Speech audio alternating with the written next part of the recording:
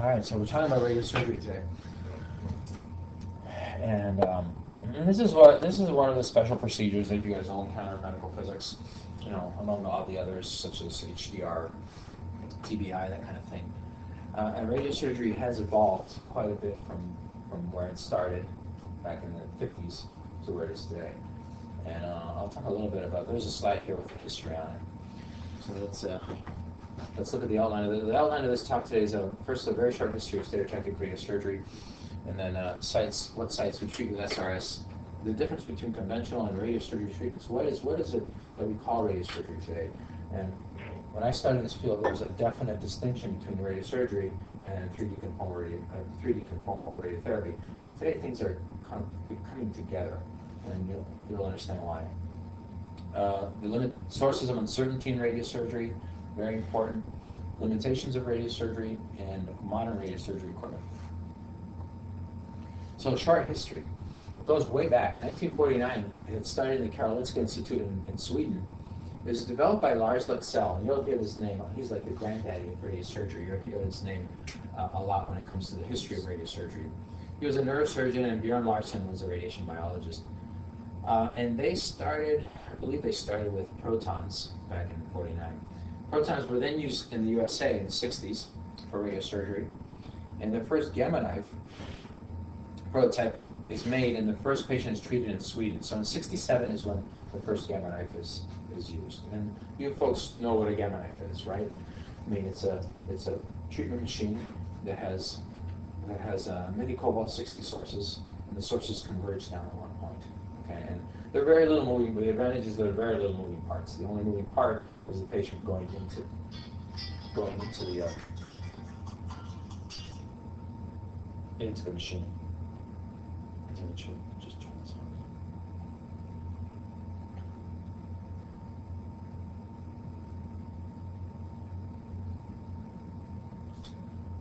Uh, so that's that's why that machine is attractive. That's why that uh, the unit is attractive. There's very little moving parts, and they tout very high accuracy in treatment. So in 1981, UCLA treats patients with the first gamma knife in America, and that gamma knife was a gift from the Swedes. So Leksell gave the UCLA that gamma knife. In the early in the early 1980s, LINAC, the LINAC, linear accelerators starts being used for radiosurgery, and cone-based SRS uh, uh, takes takes hold. And the cone the cone-based SRS, the cone is here. I brought a I brought a cone to show you guys. This is a 15. This is a 15 millimeter cone, and uh, it's an average size cone. They go down to about the smallest cone that, that you'll see is a four millimeter cone. The largest cone you'll probably see is a five centimeter cone. We've had a five centimeter cone at. Uh, so that's pretty much average size. So cone-based radiosurgery starts to take hold in the, in the early 80s when linear accelerators uh, begin, begin to be used for radiosurgery. So why is it so heavy? It's made of lead. It's made of lead. It's made of lead because it's got it's got to stop the uh, uh, it's got to completely attenuate the photons. Now, the way this is drilled out, it's also a divergent hole, but it's not a straight hole. And the reason it's divergent is because you get a sharper edge, right? A sharper penetrator. So in 1990, uh, let's see, uh, CyberKnife, CyberKnife actually started in 1990. The concept started in 1990, and it was FDA approved in 1999. You folks have heard of CyberKnife. There's one at Lutheran, right, Don? Mm-hmm. You've seen the one at Lutheran. Actually, I went to see it a couple of days ago. Uh, maybe last week. Last week. I went to see it last week. Uh, there's one at Lutheran. There's one at Northwest Community Hospital. There's one at Christ Hospital. I think that's it. I didn't think of- So there's there's about three or four in the area. I know there's one in Community Hospital, which is the one you guys are gonna go on a field trip. That's in Munster. There's about four in the area. Uh, so the CyberKnife starts in, in 1999, starts to be uh, is FDA approved in 1999. In 1997, uh, we start to see MLC-based SRS. Okay, so the advantage of MLC is that now you can conform the shape of the radiation beam to the shape of the tumor. Previously, you were confined to spheres. Okay, so this is a cylinder, but as you arc around the patient, it becomes the isodose distribution becomes a sphere. So you were confined to spheres, and what you had to do is either treat the, you know, cover the entire cover the entire tumor with a sphere, which means that if the tumor was just as an example shaped like a banana, you treat you treat all this healthy tissue there where there's no tumor. Okay, But what we, what we did sometimes is we would use multiple multiple cones, and we would put the separate isocenters, and we try to by separating the cones, by joining them, you could you could kind of make a distribution that looks more of football shaped. Uh, but the danger in that is that the overlap area got really hot. So you have to ensure that that overlap area was right in the tumor. Okay, so there's some limit. There's, there's big limitations with just using cones. So MLC was a huge advantage. The first MLC-based stereotactic specific machine was a Novalis machine. We had one at we had one at Evanston. Um, we got rid of it a couple of years ago. The Novalis is a six, just a 670 machine. That's all it does. Is it has a very high dose rate, 800 MU per minute, and it has a built-in MLC with three millimeter leaves. And the MLCs have 52 leaves in it. It's pretty small. Maximum field size of a Novalis, 10 by 10. Okay, so as you can see, you buy this linear accelerator for, for stereotactic only, but you're limited to 10 by 10. You still have to create the vault and put the shielding in, et cetera, et cetera. But you can't treat, you can't treat too much with this. Okay? So this, we had we had an IX next, we had a 2100C next to the Novalis, and we wanted to upgrade it. So so what we did is we got rid of it, got rid of the 2100, and we bought an IX. In the transition period, where do we treat our patients? So we said, well, let's treat them on the Novalis. But we had this 10 by 10 limitation. So all we could treat are, you know, prostates and maybe some partial breast. That's all we could treat on the Novalis. So that's a limitation. Uh, today's today's machine, there are more stereotactic specific machines today. The Novalis NTX. The NTX has a maximum field size of like 40 by 40. So it's a full LINAC, plus it has high definition MLC. Uh, and then there's also the Trilogy. Okay. And the Trilogy also has a, has a 6 MV mode with a very high dose rate. 6 MV at 1000 MU per minute. Per minute. Okay, and there's a couple more, and I'll show you a couple more machines in a minute. So that's the evolution. That's the evolution. That gives you an idea of the evolution. It started back in the 40s and 50s with protons, 60s protons, then 67 gamma knife, okay, cobalt 60 sources, uh, and 81 gamma knife, then linear accelerators in the in the 80s, and then uh, MLC-based SRS. So that's the progression. So what's important about SRS? It's important to get the patient in the correct position because SRS implies very few number of fractions, right? So if you have a very few number of fractions, you want to deliver a high dose of those few number of fractions, then you want to be sure that you're putting the patient in the right spot. Okay? There's no, uh, you can't you can't apply a very large margin because you're giving a very high dose. So the, the bigger the margin, the, more, the, the higher the number, the higher the amount of side effects if the margin gets bigger. So you want to keep your margins really tight. So here, to keep your margins tight, you have to ensure that the patient goes in the same place every time. I mean, if it's a single shot, the patient has to go in the right place that one time. If it's fractionated uh, radiosurgery, you have to make sure they go in the right place for, for the number of fractions that you treat. So these are the way, these are uh, masks that are used and have been used over time. This is the Brainlab mask to, to position the patient correctly and to not just to position the patient correctly, but to immobilize the patient so they don't move during treatment. So this is a Brainlab mask. It's, it's made of aquaplast material. There's a solid aquaplast over here and over here. And then there's a mesh that goes over that. And then there's also a mouthpiece that goes inside. And so there's, there's a soft aquaplast mouthpiece that the patient bites down on. And that soft piece gets melded to this top piece, to the hard piece. So that becomes one unit. There's also a, there's also a solid and mesh aquaplast behind the patient. And the way that's made is there's a there's a head holder. So this is this is behind the patient. This is the head holder. This is like a side view of this patient.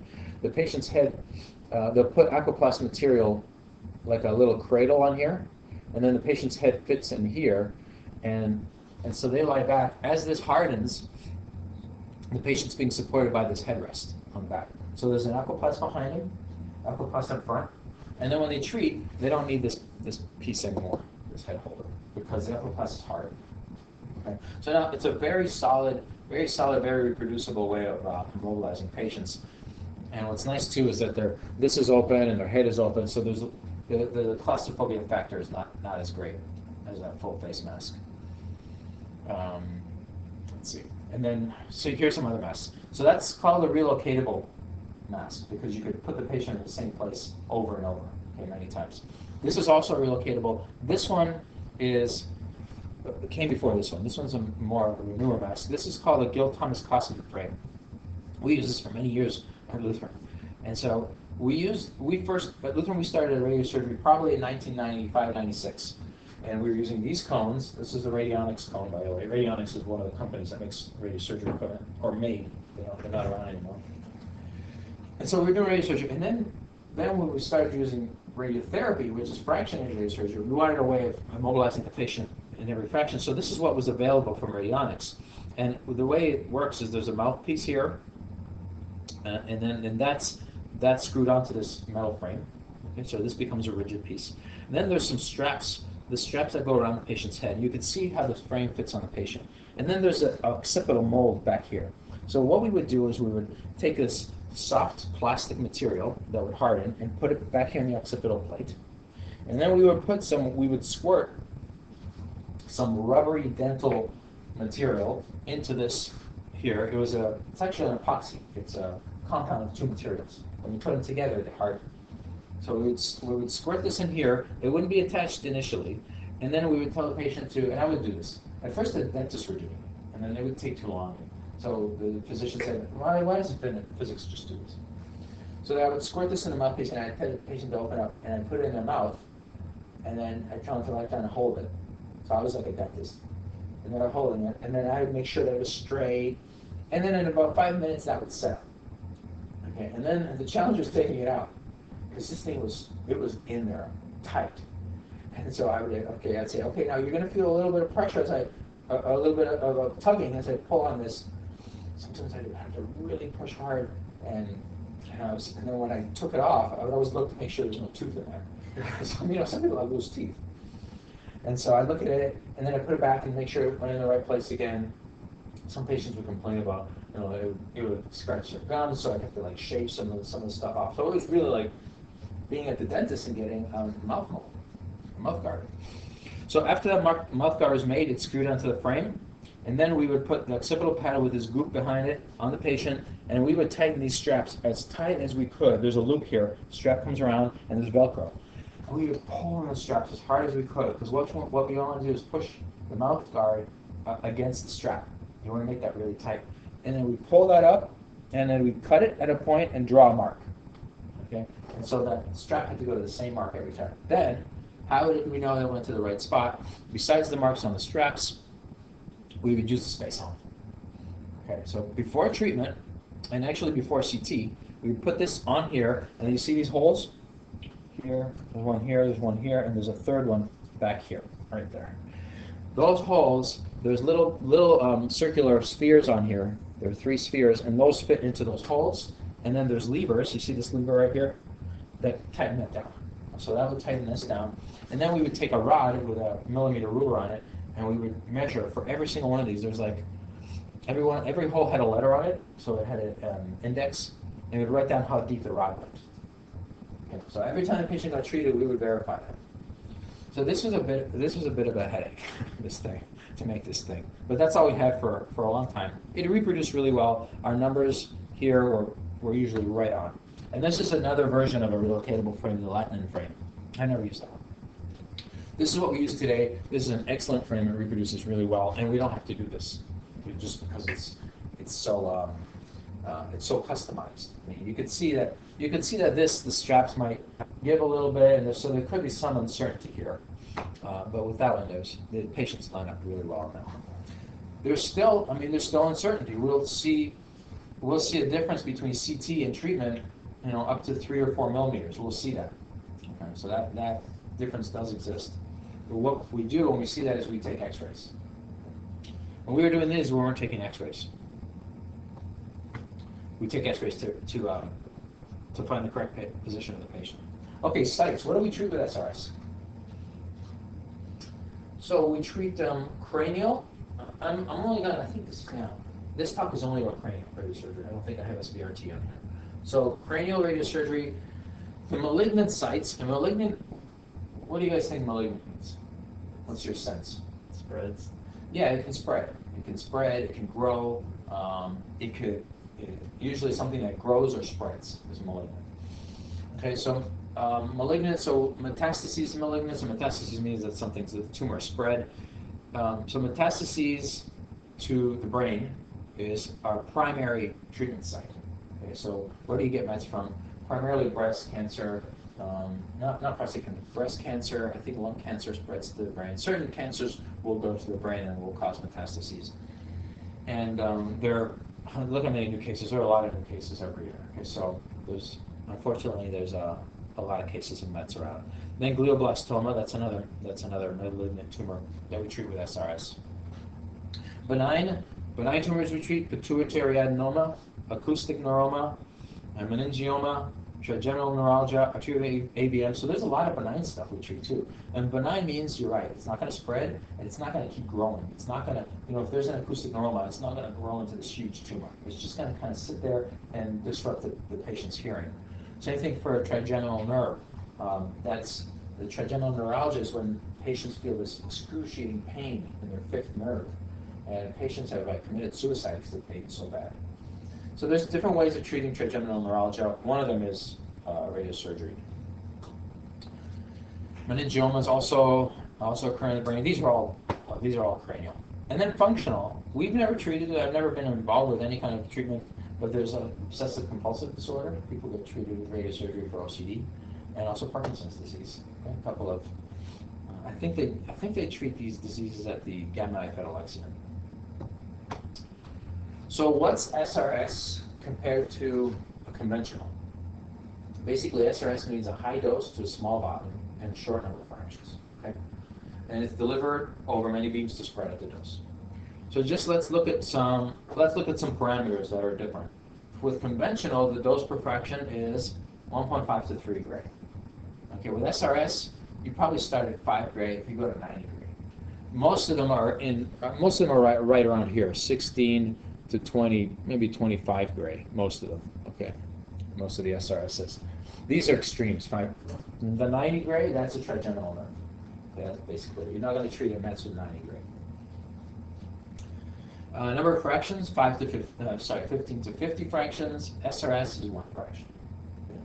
Now, stereotactic radiotherapy, SRT, SRT, um, you can go to five fractions here in the United States. You can go to five.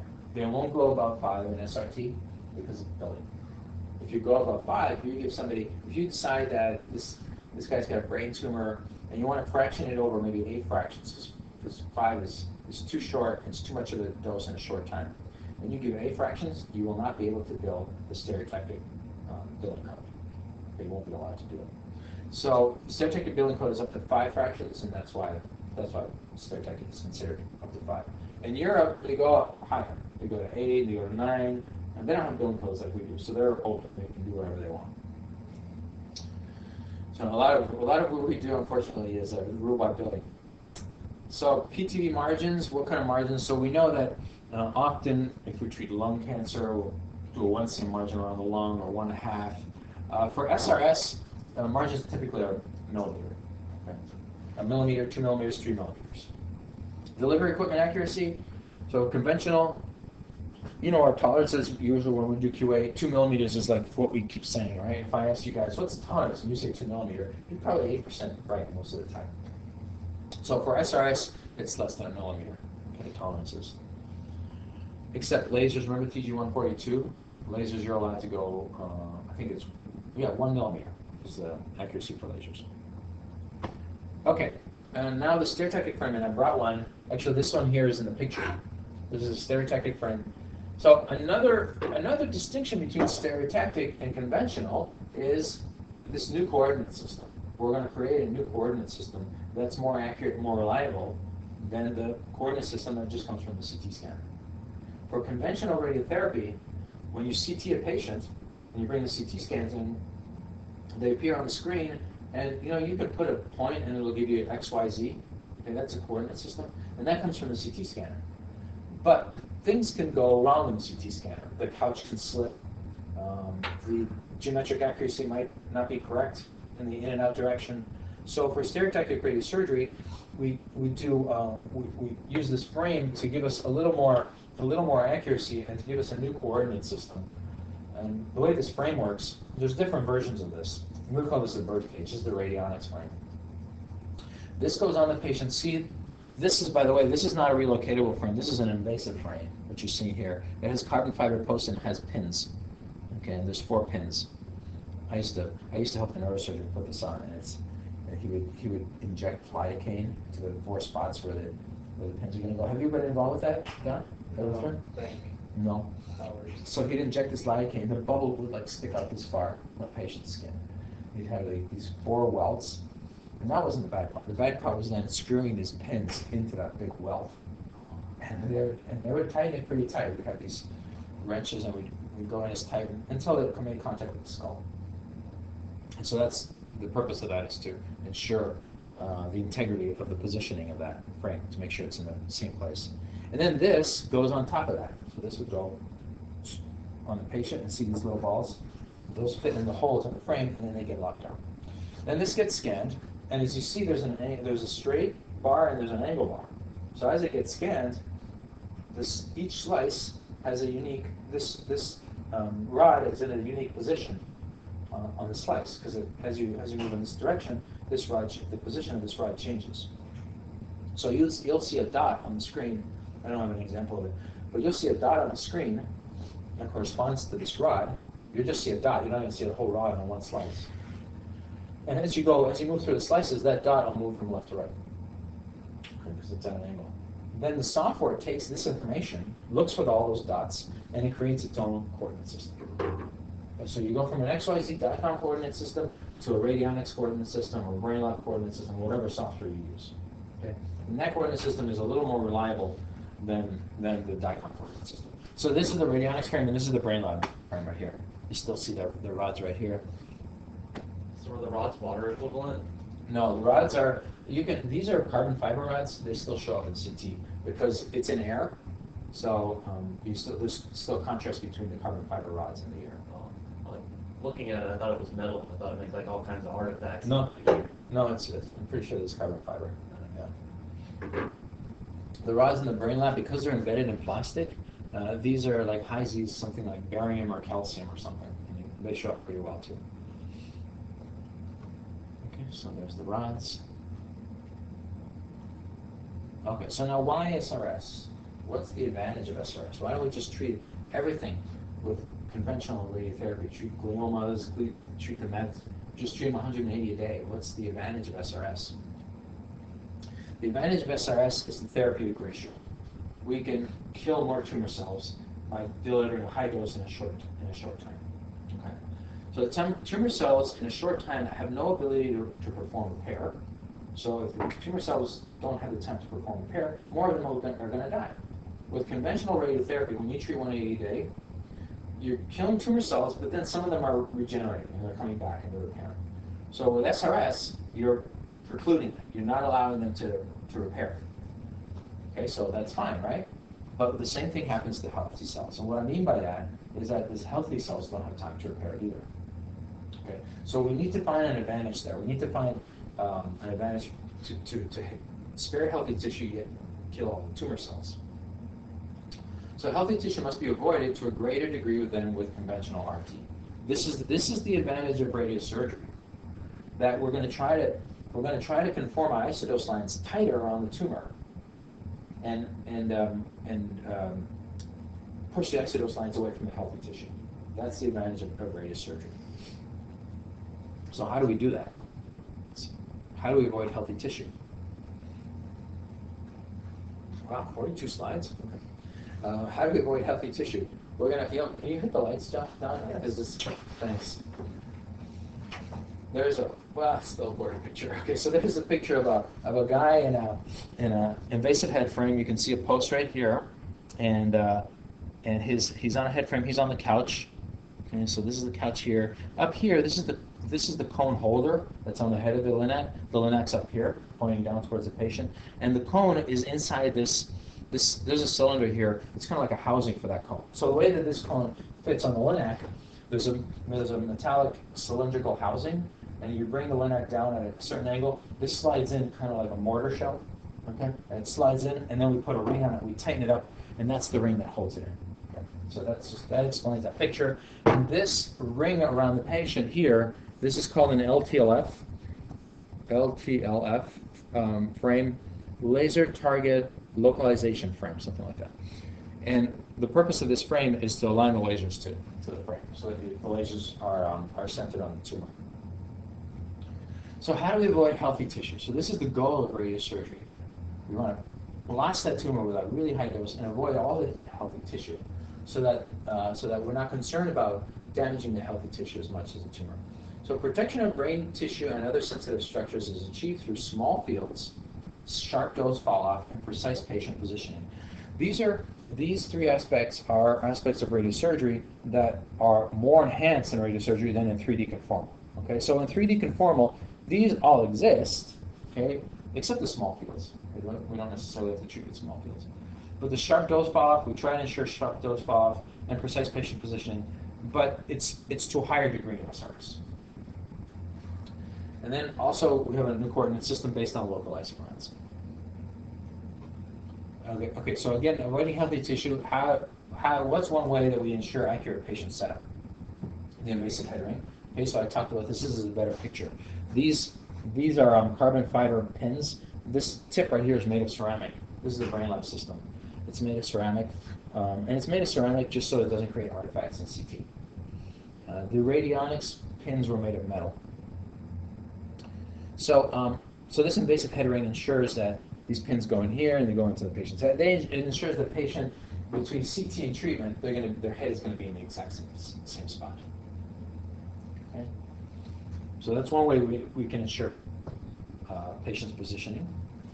What about the LINAC? So say we ensure patient's positioning, but the LINAC's sloppy, or it's not centered, or it doesn't rotate around one axis, it kind of wobbles around.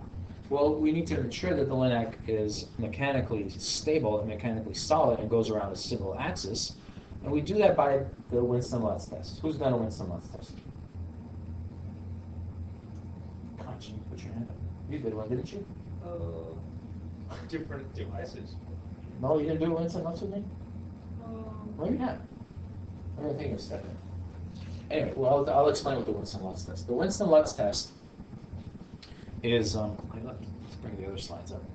This is a this is a picture of the couch, and you'll place a BB on the end of the couch, and then uh, you'll align the BB to your lasers, okay, as accurately as possible. And these BBs usually have some markings, some crosshairs on them. They're really small, you can align your really your uh, radiosurgery lasers to those very very accurately. Then once you've aligned that, you, you use a film holder that's attached to the head of the machine, and you you place a film behind the BB and then you put a cone up in the head of the machine, so there's a cone up here. Okay, there's a cone up here, and then you irradiate the BB. And what you're going to see is this. So this is what the film looks like. Now, why are there multiple shots? Because each shot corresponds to uh, a gantry angle and a couch angle. And we're missing, actually, we're missing one here, 180. It's, it's not on this picture. Okay, so there should be a 180, 270, 090, and then this is the couch, 270, and the couch is here, and gantry equals zero degrees. Okay, for those for those couch angles. So we look at those shots, and those shots tell us about the isocentricity of the of the LINAC. Okay, that looks pretty good actually. So that looks like at 270, pretty pretty centered. Zero looks good. Which one looks the worst? Probably this couch 270. And so couches are usually are usually not going to be as good. The shots are not going to be as as good as the gantries. Now, what if let's do a little thought experiment here. What if what if this ball is too high? What if it's up here? That's an exaggeration. Okay, so it's it's up here on the 270, and it is it is up here on the 90. What does that indicate? What would you say? How would you fix that? Think in 3D what's happening. In the direction, the gantry's up here, the gantry's in that direction. When you're shooting the film. Okay, so you're shooting, the gantry's shooting this way. Shooting this way, 270. What would that indicate? How would you fix that?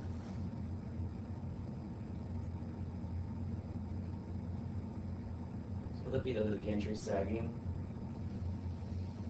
Mm, Not sagging. There is a. There. I'll show you what gantry sagging is in a minute, but it's not that one. It's not the gantry sagging. I think that these are these are lateral shots. So these are lateral shots, and the BB. And if you're looking at it laterally, the BB is too far towards the gantry. Okay. And by the way, you'd probably see the zero look like that too. So the BB is too far towards the gantry compared to the radiation field defined by the cone. What do you think? What do you think that would indicate? It could be a couple of things. I don't know. Before I was trying to figure out, well, how that would be that 270 and 90 you were getting greater than zero. Right. At zero, you'd see the same thing.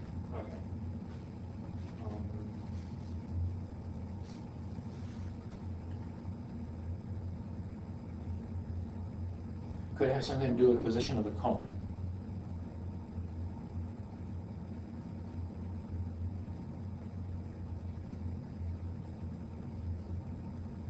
Yes, no?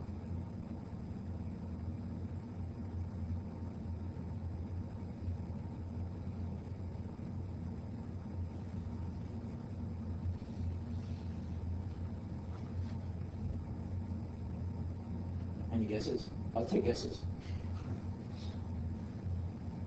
If it occurred in all three, it seemed like it could be the cone. Okay, yeah, it could be a cone.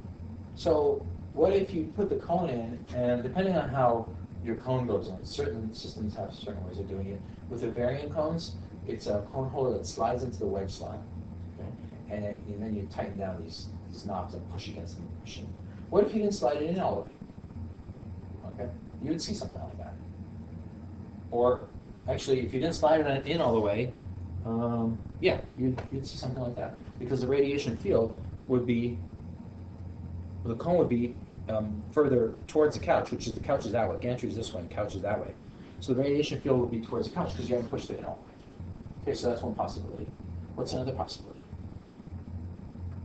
Remember, you've used the lasers to line up this BB. Okay. All right. So the other possibility is you push the cone in all the way; it's in the right spot, but your lasers are off. Okay, something happened, housekeeping went in, both, lasers, and, uh, or somebody adjusted the lasers incorrectly, okay? And you, so now you've used the lasers which are adjusted incorrectly, you, the vertical laser, uh, is moved too far towards the gantry, and therefore you've adjusted your ball towards the, to that laser, now your ball is, is, looks like that, okay? So, so this test will tell you that your lasers aren't aligned correctly. Okay, so let's look at another situation. Okay, so, so that situation, cones are off and lasers are off. So another situation looks like this. Okay. This one, and now here's the 180, okay? So assume that this is the radiation field. On the zero, it's high, on the 80, it's low. What would that indicate? Your gantry. That's gantry sag. That's what you'd see in gantry sag. Now gantry sag, the gantry when it rotates around, it's not a perfect. I mean, the thing weighs tons. So at this position, your gantry actually tips forward a little bit, and in the in the PA position, it tilts backwards a little bit. Okay. So that gantry sag is going to show up. You're always going to have gantry sag on this. It's rare that I haven't seen a lamp that doesn't show any kind of gantry sag.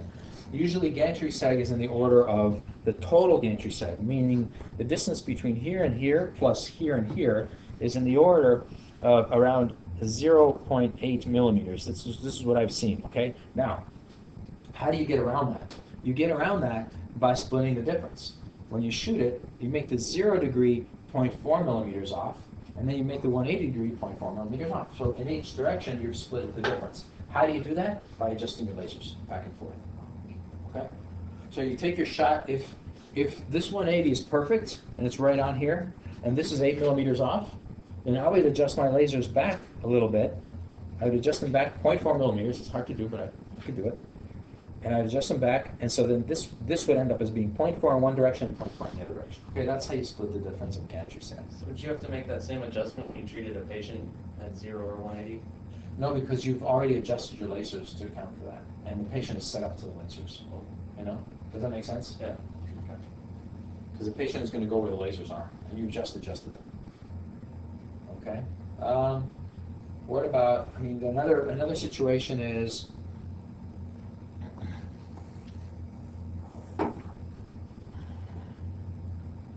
Okay. Here's another one.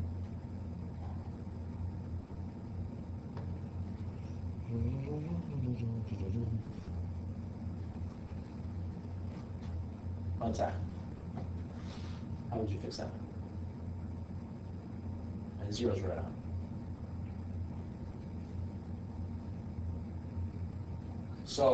To the right here and the ball's to the left here. You're off left, right. Um, no, if you're off left right, you'd see that on the zero or the 180.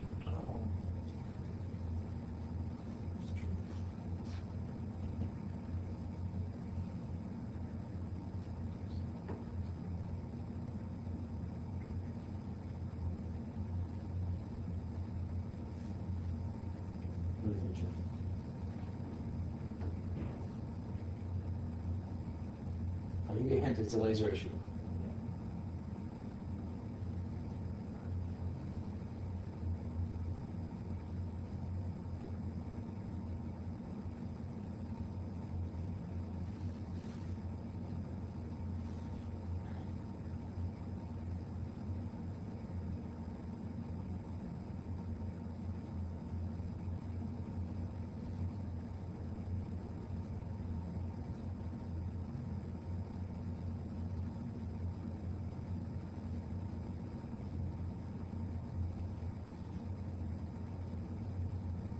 Give me another hint, it's a horizontal laser. Something up with the horizontal laser.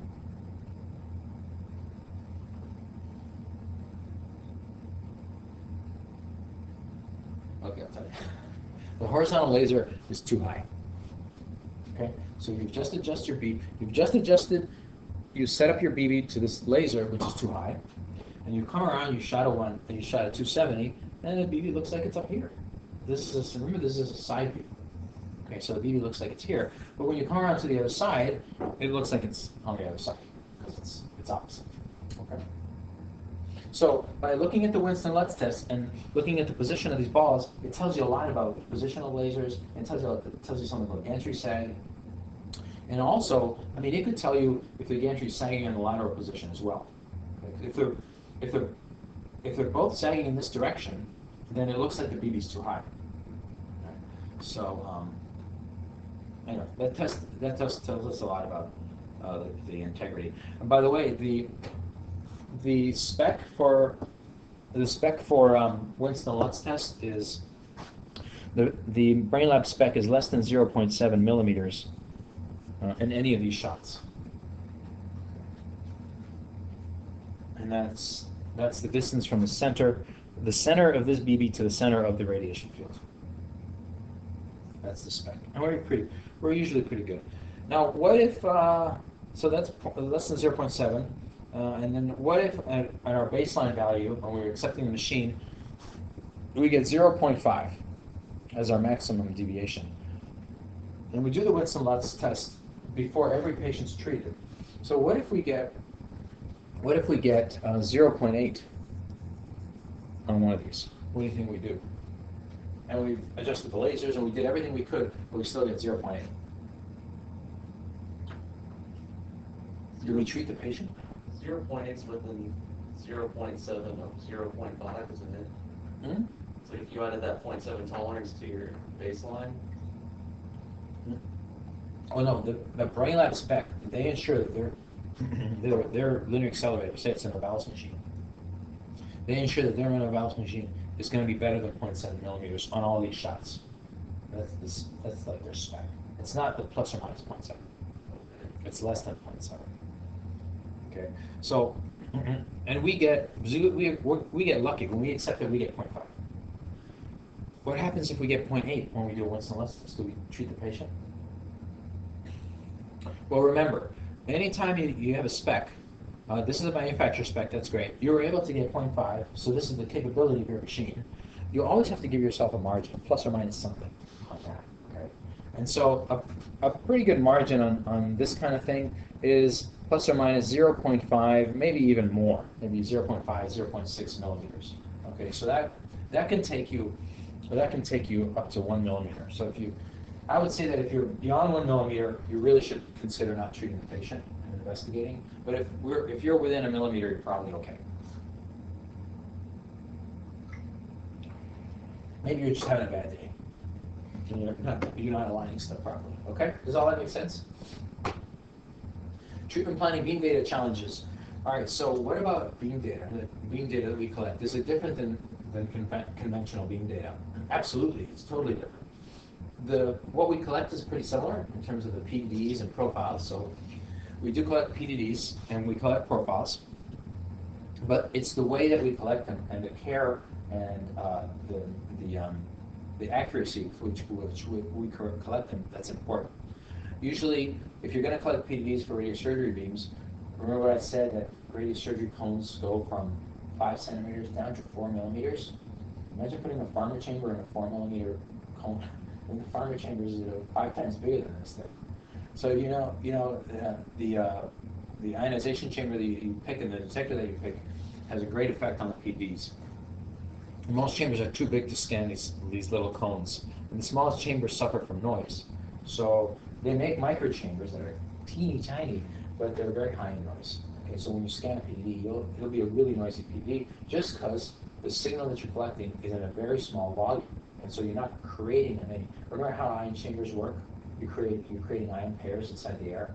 Well, if the volume's really small, you're not creating that many ion pairs, and therefore your, your signal is small.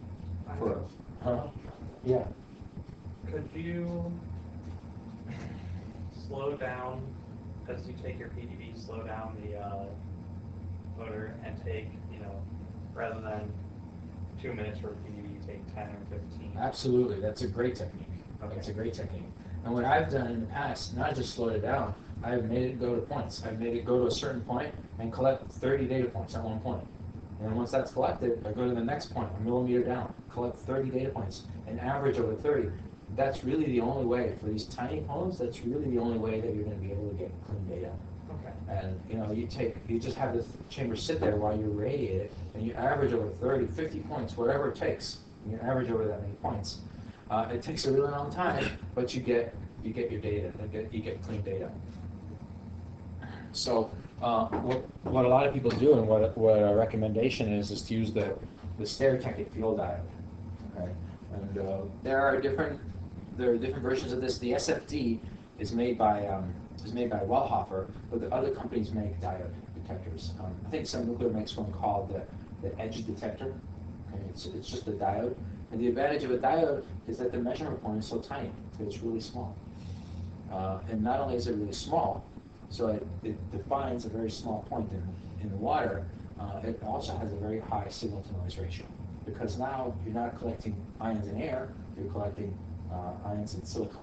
Okay, so it's a lot more dense, so radiation creates a lot more ions because there's, there's more material there for radiation to interact with. But there are issues with this. I had so many issues with the Wellhofer SFD uh, because it's dose rate dependent. It starts to, the response of it starts to change over time. And I didn't know this. I thought, hey, you know, this thing is, it's recommended that I use this, so I started using it. And my PDDs would look differently when I would shoot one and then I'd shoot another one, and they would look differently. And so I realized that it had a dose rate dependence and it had a, a drift. And so I had to take that out. What I noticed is if I irradiated it for a certain time, I would be okay. And if I kept irradiating it, it would drift. But if I stopped, let it relax and pause, it would go back to its initial state. So I had to irradiate, use it, scan a PDD, and then let it rest for like five minutes, and go back and read it. So you come up with these techniques, uh, and that wasn't documented anywhere. And in fact, I, I called Wellhofer and I told them about it, and they just kept sending me new, new diodes. So I have like five diodes at, at uh, Evanston because uh, just I've been just collecting them over time because uh, they kept sending me diodes to try different diodes. But it's not the diode; it's really the way the diode uh, works. So really, this is the take-home message about this is really understand how your detector works. Um, another another property about detectors is let's see, do I have anything about the microchamber here? Another chamber we use is a microchamber. Okay, and one of the microchambers that I've used is the Exradin A16. X, you've heard of Exradin? Okay, Exradin. A16. Now the A16, um, its signal to noise ratio is not bad, but it's heavily dependent on polarity. So if you if you measure it with one polarity and then you flip it and measure the PD with another polarity, the curve's going to look different and the signal's going to be different. So you, with the Exradin A16, you always have to take measurements at, at both polarities. Okay, so that doubles your your data taking time. Okay. Major challenge, aligning the detector to the small field is very difficult. Imagine a four millimeter cone. If you're going to try to align the detector to that light field, you could hardly see the light field. It looks like a little pinpoint. Okay, so aligning the detector to that is very difficult and it's very technique based. And usually, I mean, you'll try to align it visually as best you can, and then you'll just scan the detector up and down to see if if it tracks, if you watch the light field. The other thing you can do is scan across it to make sure that you're in the center of the profile. So there's several techniques you can use. Uh, profile measurements are done with film typically to achieve acceptable resolution and avoid chamber averaging effects in the penumbra. So for, film is probably the best for, for measuring profiles for stereotactic, for stereotactic beams, uh, diachromic film. Output factors are measured for microchamber for small fields, with microchamber for small fields. So these are the recommendations, and there's there are uh, TG protocols out there uh, that recommend these. Okay, now sources of geometric uncertainty. So we're going through all the uncertainties now. So sources of geometric uncertainties, where are these uncertainties? It's our job to know where these uncertainties are and to test them so that um, we can minimize them. So number one, Linac, Linac accuracy, and we just talked about the Winston-Lutz test. This is another one, flame, frame flex after setup. All right, now frame flex is, say the patient's in their frame, and you put them down on the table, you bolt them down to the table. There, and if you ask the patient to try to move, they'll be able to flex that frame. Okay. Imagine this is, you know, especially heavier patients that have strong necks, they can easily flex that frame. Okay, that's a problem because if they're flexing the frame while they're getting irradiated, their tumor's moving. So there's not much you could do about frame flex except tell the patient to hold as still as possible. Okay, that's number one. Uh, the frame flex also between different manufacturers is different. Like the Gamma, the Gamma Knife frame is extremely strong. Okay? So there's not much frame flex. But usually linear accelerator based frames are, um, are not as strong. So this is just something to, to just let the patient know not to, not to move. Uh, CT slice thickness and pixel size. If you're going to scan a patient with a thick slice, obviously you're, you're decreasing your accuracy in the head to foot direction. Okay? So with radiosurgery, we tend to scan our patients with um, 1.6 to 1 millimeter um, slice thickness. MRI distortion. Well, we often use MRIs to, to help us locate tumors in the brain because MRIs give us more soft tissue contrast and we can see tumors better. But the disadvantage of MRI is distortion. And where does the distortion come from? Magnetic field. So MRI, are you guys learning about MRI yet? In any of your courses? I can talk about it. You haven't talked about. Well, uh, the way MRI works is very strong magnetic fields um, permeate the head, and then the um, the relaxation of the atoms, um, the different the different types of the different amount of relaxation of the atoms correspond to different types of tissues, and that's how the MRI image is formed. But it's uh, the geometric the geometric accuracy of MRI is not as good as CT because it really depends on the uniformity of the magnetic field. And the and it's not that uniform in some cases, depending depending on how depending where you're imaging and how you image it. So um, so that's primarily that's why we use CT when we do when we use radiosurgery because what we do is we we scan the CT and then we scan the MRI and the software has usually SRS software has uh, fusion capabilities. And have you guys done fusion before? Anybody here done fusion? Done fusion? Done? Yeah. With what system do they have it with? I did it in Eclipse. Oh, Eclipse. Okay. And there's different kinds of fusion. There's fusion that just takes into account translational and rotational, the six degrees of freedom, and other fusion softwares will do um, warping. Okay, so they'll warp the image. So they'll actually bend certain parts of the image into the CT image set. Okay. The uh, radionic system uses warping. BrainLab doesn't warp, and um, Eclipse doesn't warp either. But some of the some of the newer, I think MIM Vista might. Do you have MIM Vista, Luther? I can't remember. Anyway, some of the newer softwares uh, do do warping. And then there are system-specific issues. Now, every system has their has their deficiencies, and here's, and uh, just to give you an example, here's a problem. Oh, I'm not going to call it a problem. Bless you. I'm not going to call it. But here's an issue that I I find is an issue with BrainLab, but this is how the system works. Uh, to align the patient uh, in the treatment room, this this metal box that goes over the patient's brain that locks down, and then these pieces of paper are printed from the treatment planning computer, and the uh, they're printed with see this outline right here. That's an outline of the field, and the isocenter is right here. And so you place that paper on this box, and then you align the lasers to that isocenter. Okay, where do you think the where do you think is the source of error? The printing, Printing, correct. The software actually allows you to print um, um, a calibration sheet with, with millimeter markings. So you could print it, and then you could check with a ruler to make sure that all millimeter markings are linear. So you can check the calibration of the printer. What else is a source of uncertainty? the physical alignment. Correct. That's that's the issue I have with this system. Uh, the alignment, you see, there's millimeter markings here, and there are millimeter markings on the box itself. But how good you align those, it, that's that's really going to depend. That's that's going to affect the patient's treatment. How well you're aligning those millimeter markings. Uh, so, you know, usually depends depends on the depends where you work. Some places the physicist will align this. Some places the therapist will align it. Uh, and you definitely want somebody to double check the alignment. But that that is, is a crucial step in um, in the system, and I'm, I'm not that crazy about the system because it opens it opens it up for inaccuracies. Now this is just for the frame invasive frame based, okay, uh, and and I'll talk about the image guided radiosurgery in a minute, but that's just that's without image guidance. That's just uh, frame based. Okay, another issue, equipment QA. So make sure that you're doing, your QA program includes some way of uh, detecting issues with the QA, with the equipment. Here's one issue that we had. This is me holding the invasive frame, and we noticed there was a crack in it. As the doctor was screwing these pins in, they heard a crack. And the doctor said, whoops. So they took it off, and then they gave it to me, and I looked at it, and I found this crack right here.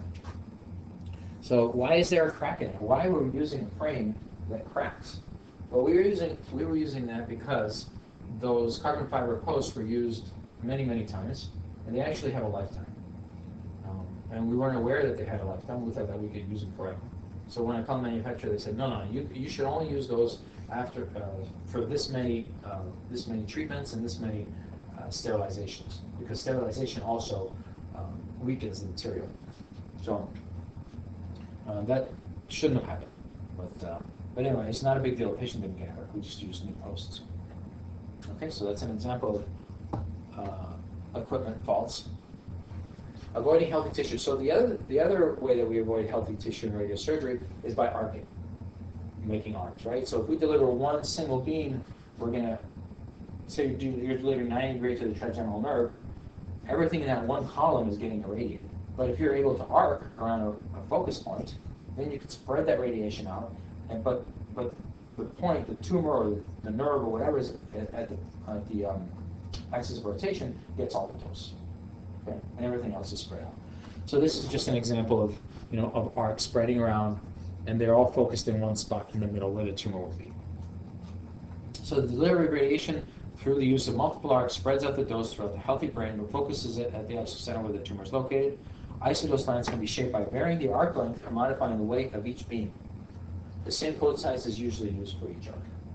Okay. So by by spreading out the dose like this, if they if they all have the same weight, the isodose distribution is going to look pretty spherical. But say your tumor is not spherical. What you could do is, if the tumor is elongated in this direction, exaggerate, exaggerated tumor, um, I can weight this beam and make this beam deliver much more MUs than these other beams. And if that happens, that'll pull the isodoses in this axis. Okay, so that's one technique of uh, dose shaping. If I want to, if I want to pull it in this in this direction, if the tumor is elongated in this direction, what I could do is I could cut this beam, so we're not treating in this in this sector, we're not treating this, and weight this one and this one heavily, and these not so heavy. and that'll pull the tumor, the isodoses in that direction. Okay? So those are just techniques in terms of shaping, uh, shaping the beak. Okay. All right, let's take a break, and we'll talk. We'll get into limitations of SRS.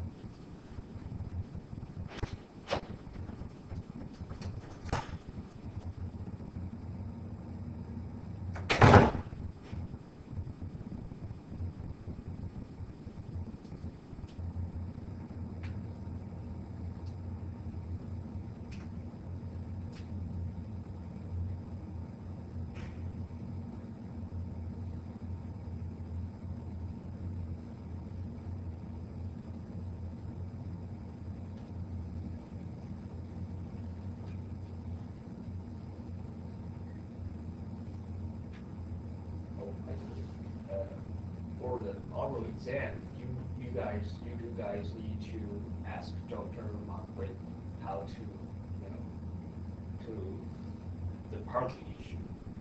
Right. Yeah, there's no free parking in us, in, in Amherst Hospital, so that's a big problem. And I thought I can make a carpool for you guys, but I, I was wrong because I wouldn't be here on Thursday, because I'm gonna go to um, Amherst Hospital in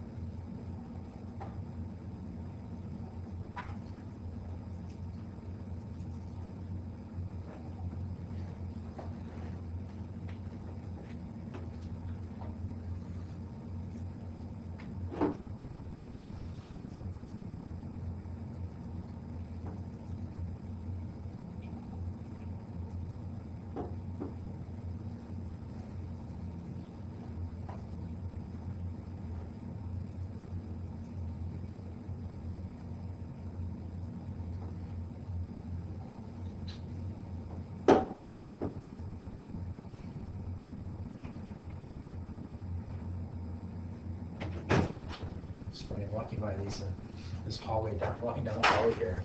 Half the people sleep on the couches. They're like sprawled out like it's their beds. It's funny. Good little place to take a nap. It's a nice view. And I think the med students have some tests this week. Yeah.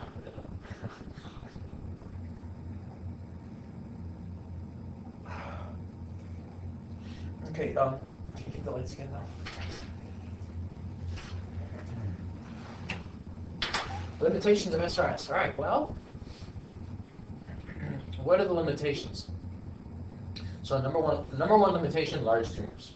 Okay, so you get to a point where the tumor gets so large and, and you want to give, you still want to give a, a single shot of a very high dose, but the tumor is so large that you're coming in, you're arcing, et cetera, you're doing all the, all the arcs and spreading out the dose, but still, look at your isodose lines. They're still, they, they become really large itse- themselves because the tumor is large. So the path that the radiation is traveling to cover this, so imagine if you're coming in from the side, to cover this tumor, you need a large cone or a large field, and so you're, you're treating a large area out here, you're treating a lot more area here, and then you're coming from this side, so you're coming from this side to treat this. So you're treating all, this volume here.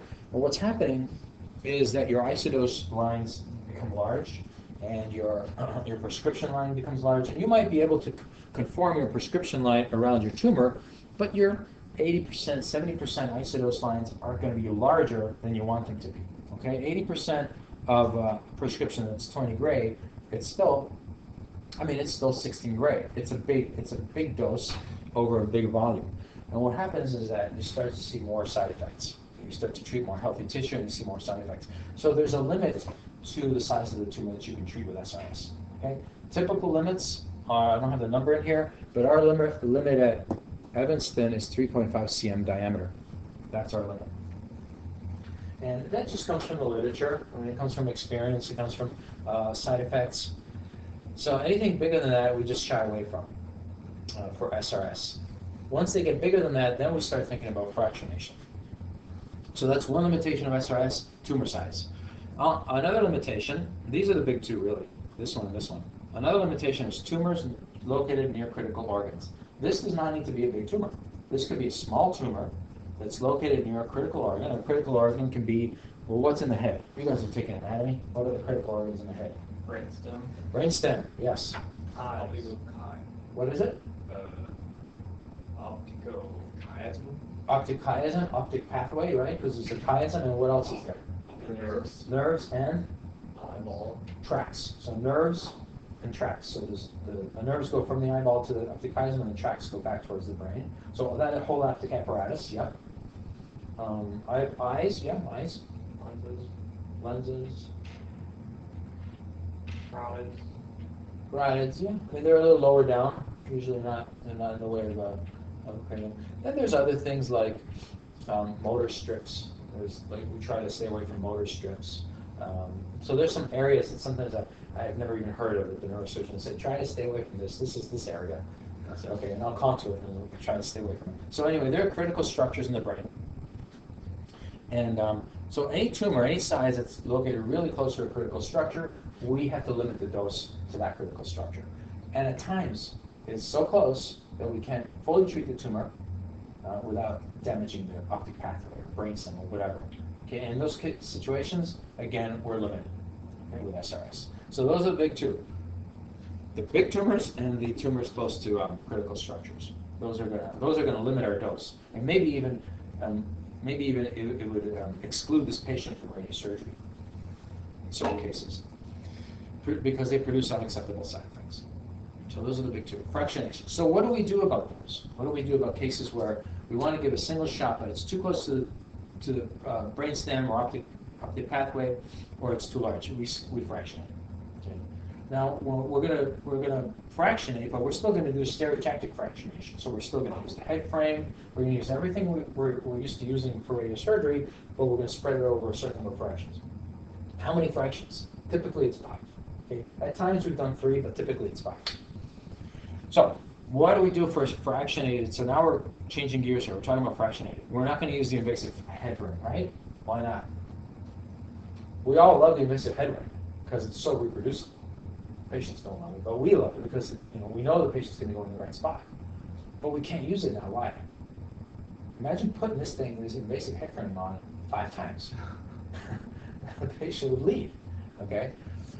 Um, or what we did, it- this is back in, I'll give you a little history story. Back when I was in my master's degree, in back 19, 1989, 1990, where I was where I was being trained, they were doing a lot of radiosurgery, um, and they called it the McGill method. The way the McGill method worked is the patient would lie down on the couch, and the linear shutter would, would start at a certain point, and then when the beam came on, the couch and the gantry would move at the same time.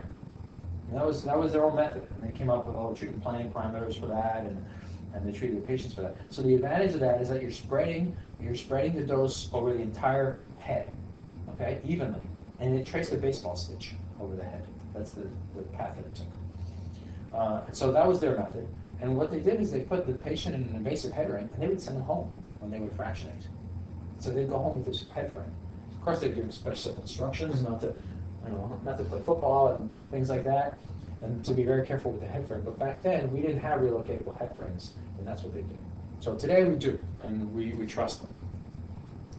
So uh, another another aspect of SRT, the margins on the tumor are larger in SRT than SRS. Why would that be?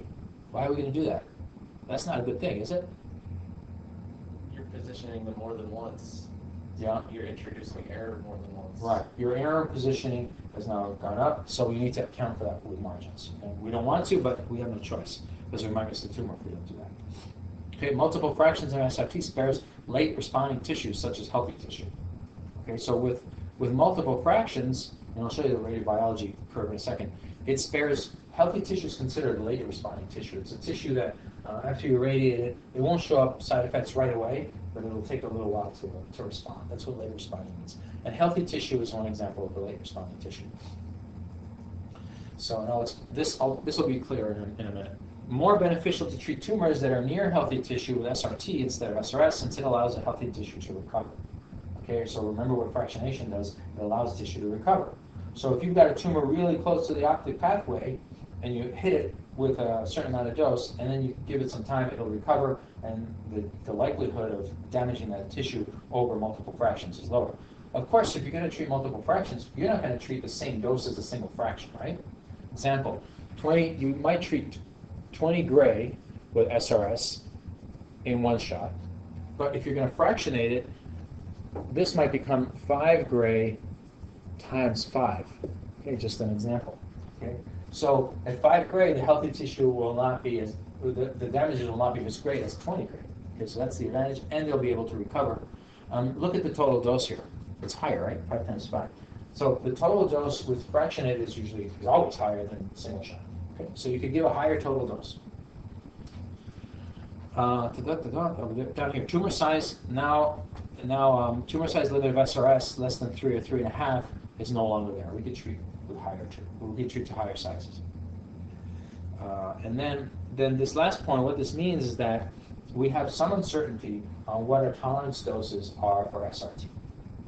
For SRS, we've been doing it for so many years. We know what the brainstem can take in one shot. We know what the optic apparatus can take in one shot. We know that if we pass a certain dose level, we're going to start seeing side effects. But SRT, it's not that it's not as clear. We don't have that much experience. So we still we're, we're very conservative on our tolerance doses. And I've sent you guys tolerance doses right in the past.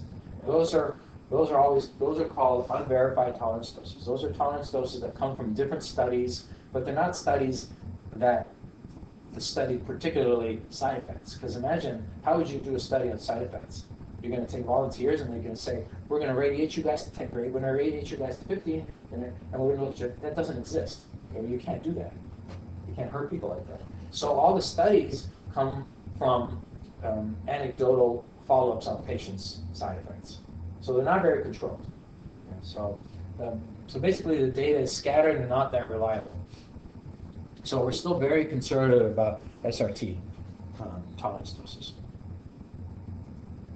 All right, so here's the radiobiology curve. You guys are gonna, you guys are gonna um, do tons of radiobiology next quarter, but this is a this is a cell survival curve. And so the abscissa here, the x-axis is dose, the surviving fraction is uh, on the y-axis, and what you're seeing here is this graph, that's dotted line, oh, sorry, let's look at graph A first. Graph A is a single shot of dose, okay? So if you give, if you give the tumor this much dose, then the surviving fraction is gonna be this much. If you give the tumor this much dose, surviving fraction is that. As you can see, the dose goes up, the surviving fraction drops, right? The number of cells that you kill increases, the number of surviving cells decreases, okay? So that's pretty clear. What's interesting about the cell-survival curve is that there's a, they call this the linear quadratic model. So it's linear at first, and then it does a quadratic. So it kind of bends down. So this little, see how the curve is curved here, and then um, it's linear down here. What happens is that if you fractionate, you can take advantage of that. So if you give one shot, it'll look like this. Then you give another shot, it'll see this bump right here. What happens is that the resultant curve is above this single shot curve. Okay. So what that means is that for a single shot, if you deliver this much dose in one shot, you'll have a surviving fraction of this much. But if you fractionate it, your surviving fraction will be higher. Okay, so if you fractionate something, and this is what I've been saying, cells recover. The recovery, the recovery part portion is right here, right at the beginning. Okay. So if you're able to fractionate, your surviving fraction is higher. So that's how fractionation works. Okay. Um, let's see. Do I have another? I don't know. No. Okay. Um, yeah. So let's see what the let's see what the caption says. Idealized fractionation experiment. Curve A is the survival curve for single acute exposure X-rays. Curve F is obtained if each dose is given as a series of small fractions of size d, uh, d1, with an interval between fractions sufficient for repair of sublethal damage uh, to take place. Sublethal damage is damage that it occurs but that can be repaired. To take place, multiple small fractions approximate to a continuous exposure uh, to a low dose rate. Okay, so so here's a so there's many there's many models. Here's a here's a cell where radiation comes in and affects the DNA, and that cell just dies because there's enough radiation in there to, to kill to affect the DNA so that it can't it can't divide any longer, and it just dies. So that's one the one method. Uh, so this is like instant death of the cell. Okay, and the other one is apoptosis. There's the radiation comes in, and the cell is slightly damaged, but it's not sure uh, what it's going to do with itself, and it kills itself. You know, apoptosis is self-killing. Okay, so it kills itself. Uh, another one is sublethal, where there is some damage to the DNA, so the DNA is damaged, but it the DNA can can repair itself. Okay, so it repairs itself, and then it goes on to be a viable cell, and it goes on to to then multiply after that. So those are kind of those are the three basic uh, ways that cells can either die or, or uh, live on. So this is sublethal repair. So, and then there's cells that don't even get irradiated. So those cells that don't even get hit. Those are those obviously live. Okay.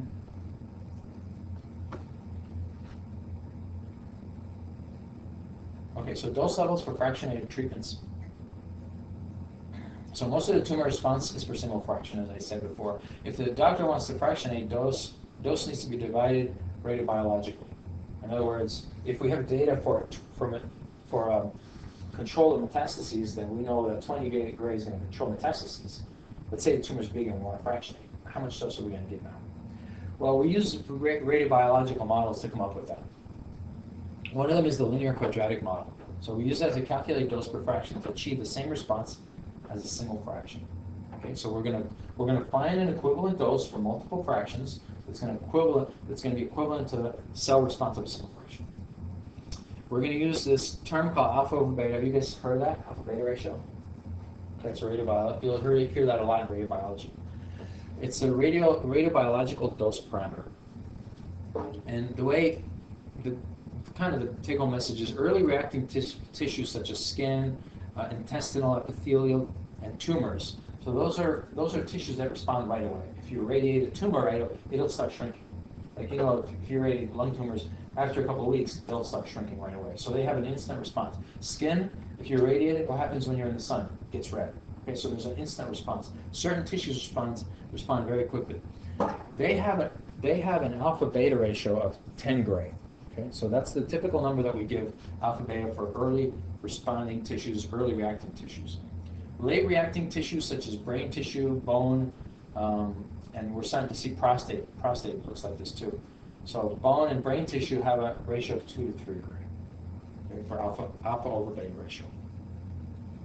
The alpha over beta ratio is derived from cell survival curves or in vivo data. So this comes from um, data that comes from cell survival curves. Well, okay, so how do we use this? How do we use this mathematically? How do we how do we come up with equivalent doses?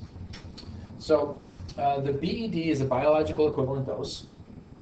Okay, so we're going to account for um, how quickly a tissue responds, how effective a certain type of radiation uh, regimen is. We're going to do this with the BED. So BED is equal to n, which is number of fractions. D is the dose per fraction. And and so here's an example. So and then alpha beta ratio is what we just talked about, the 10 gray or the 2 gray or the 3 gray. Okay. So let's let's see how we're going to use this in a problem. So example, SRS fraction is 15 gray. A single a single dose is 15 gray. Now the question is, what dose per fraction do we need to give in two fractions? Say we want to frac- fractionate this in two fractions, not five, just two as an example, to achieve the same biological tumor response um, as a single shot of 15 gray. Okay, and remember, tumor is alpha beta equals 10. So here's how we do it. Single shot biological equivalent dose is equal to n, number of fractions is 1, uh, 15 gray, and then 1 plus dose is 15, and alpha beta is 10. Okay, so that turns out to be the biological equivalent dose of that treatment is 37.5 gray. Okay, intuitively, I mean, that doesn't really make sense intuitively, but we're going to use this for comparative purposes only. So now we want to treat with two fractions of SRT, and we want to know how much dose per fraction we want to give to get the same biological response. And so we do this by using the equation again. Okay, so now n is 2, d is our d is our unknown. That's what we want to find. d is up here, and then alpha beta is 2 because again we want to know what the dose. We want to know the tumor response. Okay, so if we solve for these, if we solve for this equation, we get uh, a dose of 9.6 gray per fraction for two fractions.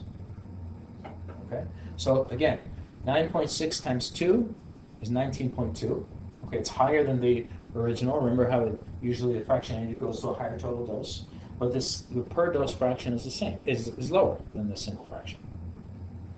Okay, so if you deliver 15 gray and then you deliver 2 times 9.6 gray, you're going to get the same rate of biological response. Okay. Isn't that amazing how this simple equation could come up with that? Well, it's not very accurate. Okay, it's all we have. Okay, so it's not completely accurate. And you know, we're humans. People respond differently. But it's all we have right now, and that's what that's where that's where our um, uh, we actually use this to come up with fractionation schemes. So this is one method that we use. Another method that we use to come up with fractionation schemes are protocols. Have you guys heard of protocols? Somebody will set up a protocol and say, well, we're going to try to treat this metastases with five fractions, and we're going to do it, you know, maybe maybe if you do a METS with five fractions, you'll get something like, I don't know, seven gray per fraction, just using this equation. But the protocol says, well, we think that's too conservative. We're going to go 10 gray per fraction. So somebody can set up a protocol that comes up with some fractionation scheme, and then they'll put patients on the protocol, and then follow, treat the patients and follow them afterwards and see what their response is. And that's another way to create, to come up with fractionation schemes. Um, That's more clinical. Right, now how would you solve this? Uh, this looks like, uh, let's see, d, so if you multiply d in there, you get d plus d squared over 10, and it becomes a quadratic equation, doesn't it? So you end up with a quadratic equation, so you use the quadratic formula to solve it. You usually end up with two roots. Okay, one root that doesn't make any sense, it's negative or something, okay? So usually one root you can, you can cancel out of there. Okay, what about OAR? So that was tumor, that's, that's biological equivalent dose of tumors. And by the way, BED is used in, in a lot of other areas. Um, it's common to use BED in, in um, HDR. Okay, so say you treat a patient with 4,500, you guys have all done HDR, we kind of know what it's about, right? Some patients that are treated with HDR get external beam as well. They'll get 4,500 like say gynecologically. They'll get 4,500 to the pelvis, and then they get HDR. And the doctor will prescribe, I don't know, two, uh, what's a typical HDR dose of like seven times, maybe seven times two, 2,000 with 2,000 centigray with HDR. plus forty-five hundred. Can you add them up and say the patient got a total dose of seven thousand gray, eight thousand gray, eight thousand centigray? You can't add them, right? Because there's radiological issues here. So a common, common use of BED is to come up with the biological equivalent dose of the forty-five hundred centigray and the HDR. okay? And you use these formulas, kind of, there's a modification that you have to, there's one more step you have to do for that kind of equivalence. You make them both equivalent to uh, two hundred centigray per day. You make the HDR two hundred centigray per day, and you make the forty-five hundred, and then you can add them up. Okay, so, so you'll see this a lot in, in the clinic, being used in the clinic. All right, so what do you, what do you do about OARs? So this equation can also be used to determine the OAR tolerance dose. So say you're treating, um, prescription doses fifty gray and two gray times twenty-five fractions. This looks pretty typical for maybe a brain tumor that's fractionated. Not, not an SRS, just a typical fr- fractionated brain tumor. The optic nerve cannot get more than fifty gray. With this fractionation, what is the tolerance dose if you, if you fraction, if your fractions become five? Okay, So, say this, this is, this is something pretty realistic. Patient comes to the clinic and, um, the doctor sees the patient and says, boy, this tumor's so big. Um, I would treat this with fifty gray, twenty, two times twenty-five. And then the neurosurgeon comes in and goes, you know what, let's just treat this patient with stereotactic radiotherapy. You know, the tumor's a little big, but I think the patient can tolerate it.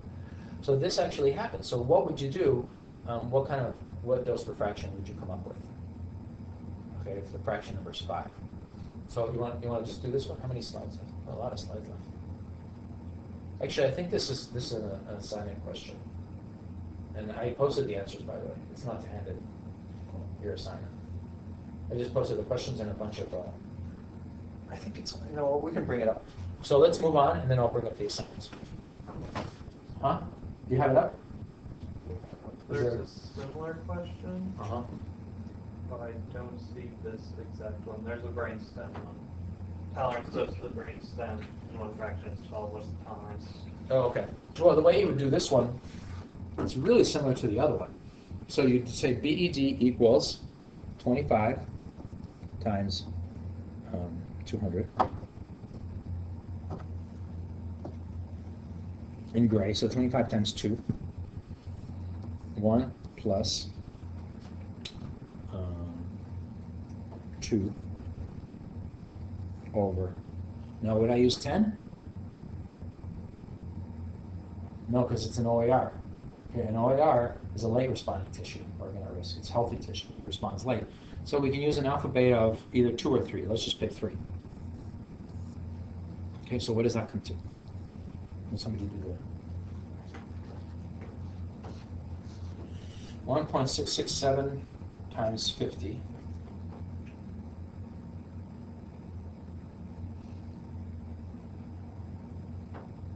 Eighty-three point three five.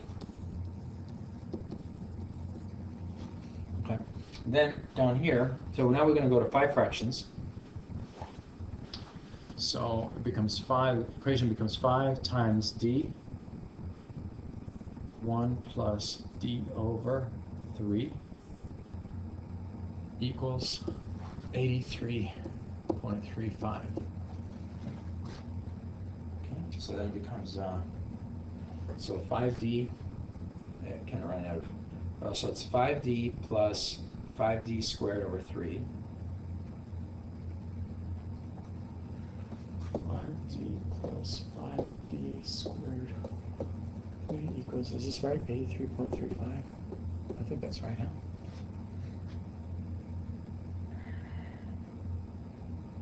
Okay.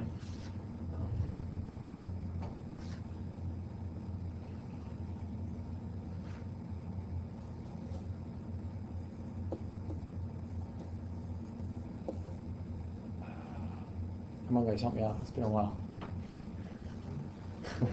What's that equation? Ah.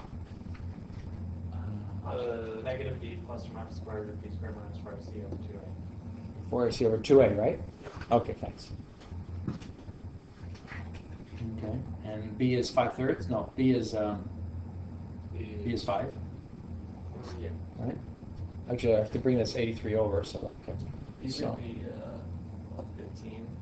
Sorry? if you multiply the three out. You can multiply the three out, okay. So then B is fifteen. So you know, so you don't end up with fractions. Okay, so b equals fifteen. A equals five. Uh. And c equals what's three times? Eighty-three point three five keep the negative, it's 250. Negative 250? Okay. All right, so, so minus 15, plus or minus square root of b squared, um, 270, 275, right? 275, 225? 225, 225. 225.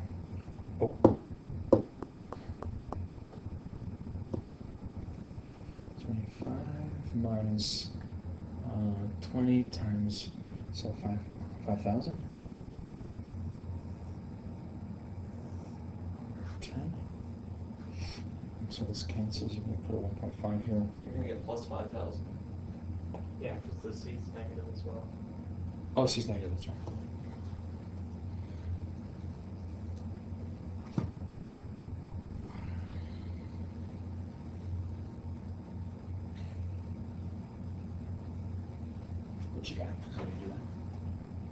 cross out the 10. Oh, this is just gonna make this 1.5. That's fine. Please. Ah. Should I this 10.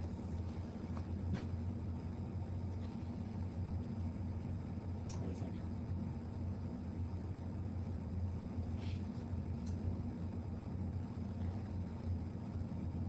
think? Like 73.8. 73.8?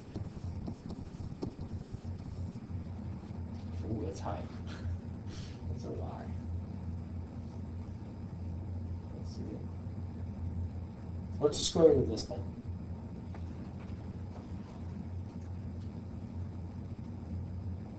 Seventy-two point three. That's the square root of this? Yeah. Okay. Seventy-two point three. So fifteen, okay, it's obviously, well, so we're getting up with, um, all right, so fifteen minus, but, so you should have a smaller number here. Uh, yeah. And you're getting a eight point seven. Ah, that's it, that's it. That's the only one we want.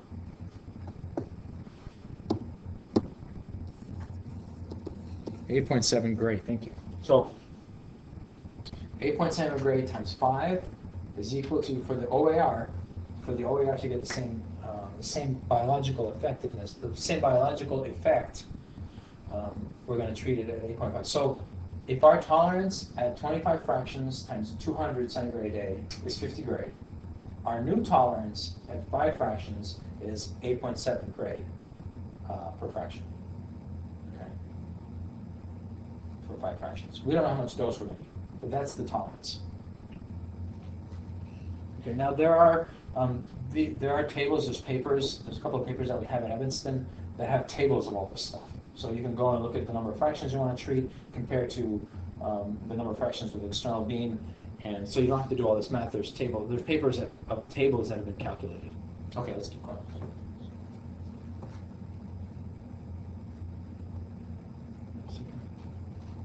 I just want to double check. This is see. No, that's the, that's the total dose. Yeah. Dose per fraction. No, no, it's dose per fraction. Yeah, eight point seven gray per fraction. Okay. So uh, SRS treatment planning. So we talked about uh, sites, tolerance doses, now into planning. So this is a whole other animal. Um, in planning, the first step is imaging. MRI used for anatomical contouring. We can fuse the CT to get spatial accuracy and avoid distortion. We know about that. MLC-based plans. There's a couple of methods we could deliver the MLC-based plans. The advantage, of course, with MLC is that you can you can shape the MLCs around the tumor.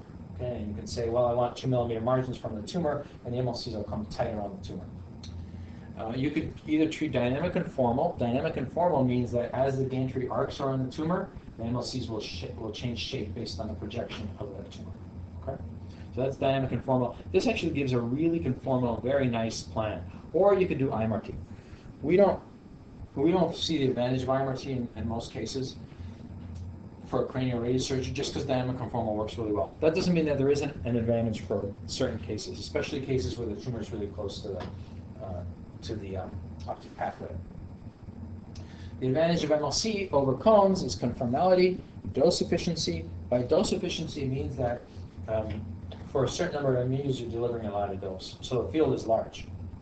Okay, compared to compared to treating through cones where you're mm, setting up multiple isocenters, the field is really small, and you need a lot more MUs to treat with this than you do with uh, MLC.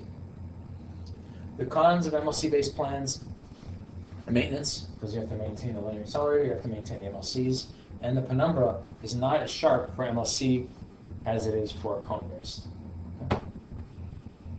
For cone-based plans, five to nine tar- um, arcs are typically used, one or two isocenters, and the advantage of cones are penumbra is really sharp. Conformality is a challenge, of course, because you're all you're trying to pack spheres to cover a tumor. Okay, this is um this is a slide that shows a couple of things.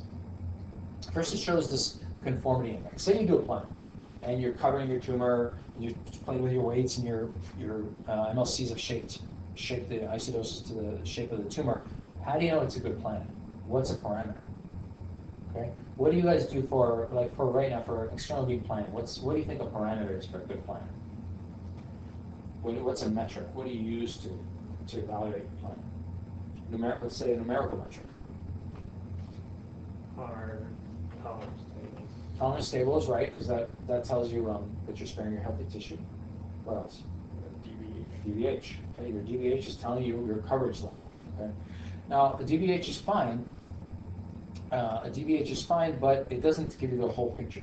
Okay. There's this other index called the conformity index. This is something that's used in radiosurgery.